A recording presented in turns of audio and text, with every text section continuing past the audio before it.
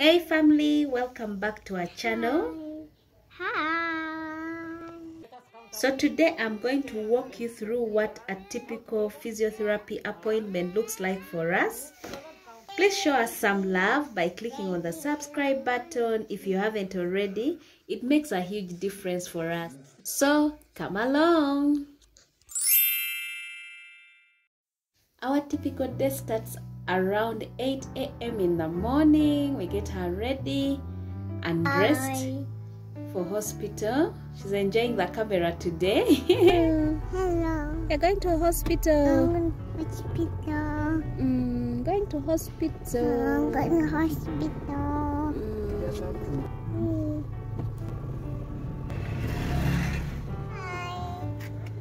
The journey to hospital was about an hour's drive, so we managed to reach on time for our appointment. Daddy. Daddy. I'm glad I have a very supportive husband. A day like today is a day off for both of us, such that we uh, we encourage joy and we show her that she's not alone in this journey. We clock in at the reception, and thereafter we are ushered into her physiotherapy room, where the session is going to take place. Hi. Hi.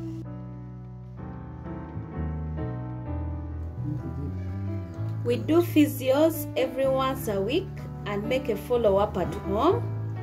Failing to stay active can accelerate symptoms of any disease, Thank you. including SMA.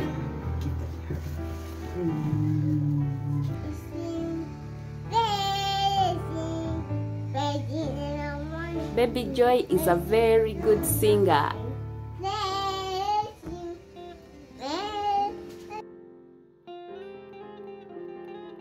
Without these physios, we realize that there is an increase in joint pain.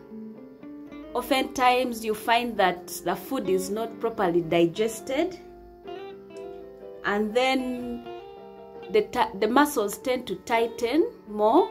So, we have to continuously do the physiotherapy to compensate for her limited range of movement. Oftentimes, she's confined in a wheelchair or just seated, and this causes the muscles to tighten. So, like I said in the previous videos, if you haven't already, please check them out. She has a progressive disease, so with the time, her muscle strength keeps on reducing.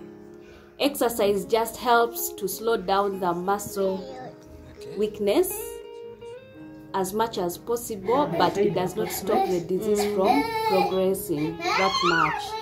Mm, You can even incorporate the two, but for the startups, mm, it's so painful. So let's first begin with one at a time. Aunt has stopped, okay? Yeah. Sorry? Mm. Yeah. Forgive me. Mm. Yeah. Uncle didn't want to hurt you, but wanted to help you with your legs, okay? Mm. Sorry, Mama. Sorry. This particular session was done on a different day, but I just wanted to show you fully what everything involves.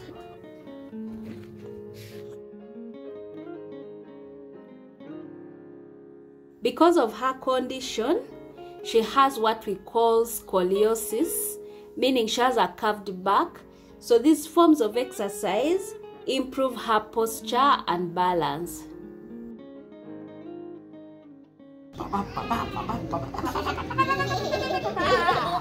Eh? Ah, good thing. No. Hey! Again? Again. Her physical therapist tries to make it as engaging as possible and more exciting, such that she doesn't realize that she's in so much pain. Of course, towards the end of the session, he tries to work through with the muscles more and intensify the whole exercise. But that is usually after warming up those muscles and trying to activate the bones as well. What is it? When it can't move anymore, just heal. Hey, Hey, what's happening? It's paining you. This one. Just a bit some- Okay, sorry, sorry, sorry, sorry. Okay, Give daddy hug.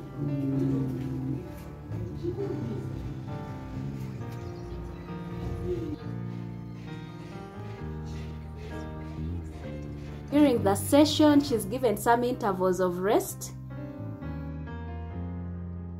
She can't sit on her own, so we give her support to bring her to a sitting This- position. Most.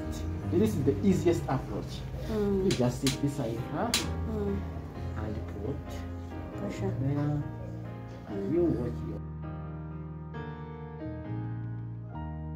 He is putting weight on her hip area. Guys, this is the best physical therapist we have ever met. He teaches you everything, he's so engaging, and I really must give credit to him. He has helped Joy a lot. Take us for so long, but it is worth He is now engaging her upper body and trying to make her use her hands as much as possible. Yes. Mm. And that is even active, Mm, active uh, exercise. mm, Because what we are fighting is massive loss of power. mm. So I'm going to put her there as quickly as possible. Then comes the most intensive part Wow. of the session, and here I must say we have to cry. We count together. We really don't have a choice, We're not counting. so we have to get the whole session done. And usually, this is the last part.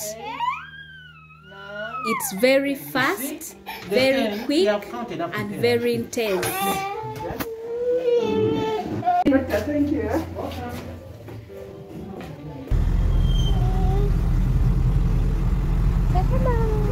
Hi, Stella. Hi. Are you okay? Yes. Say bye. Bye.